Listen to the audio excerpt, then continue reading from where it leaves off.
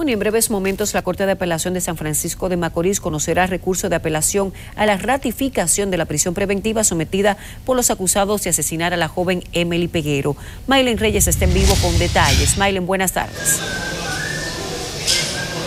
Los jueces de la Corte de Apelación aplazaron para este viernes 9 el recurso de apelación de Marlon Martínez implicado en el asesinato de la joven Emily Peguero.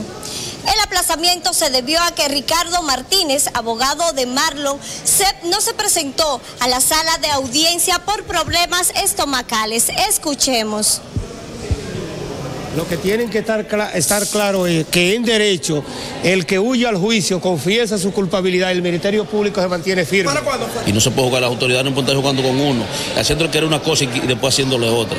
Todavía hoy nos pasan eh, eh, eh, el 26 de, un relajo y todavía ahora no tienen como un relajo. Las cosas no son así. Este aquí sí es necesario. Pero sí tiene implicación el hermano de La Procuraduría ha determinado que tuvo una mínima participación. Vamos a ver si esa mínima participación trae responsabilidad.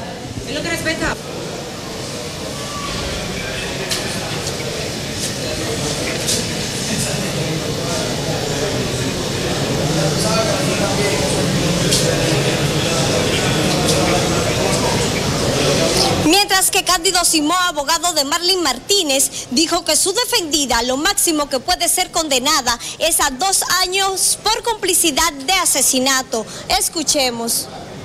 Así que solamente se está a la espera de que él llegue, tan pronto él llegue, la audiencia va a comenzar y los jueces van a determinar qué valor le van a dar a la excusa manuscrita que él mandó. Y de ninguno de ellos han conseguido evidencia contra Marlene. Ahora me pareció ver ayer, anoche, que por, este, por uno de los medios, eh, el boli habría supuestamente dado una declaración que la fiscalía se la filtra toda a la prensa porque se pusieron, cometieron el error, el Ministerio Público en este proceso cometió un error gravísimo. El error consiste en haber colocado a Marlin en primer plano, pero ante los medios de comunicación.